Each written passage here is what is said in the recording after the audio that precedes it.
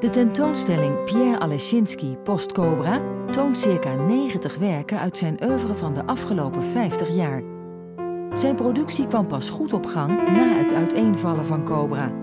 De in Brussel geboren Alesinski woont en werkt al vanaf de jaren 50 in Frankrijk.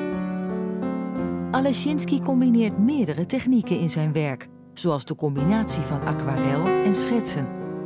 In de jaren 60 wordt de invloed van de Oosterse kalligrafie duidelijk in zijn werk.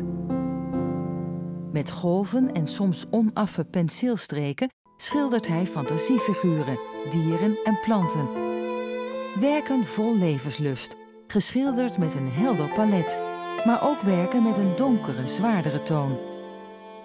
Sommige schilderijen en tekeningen zijn nog niet eerder publiekelijk getoond.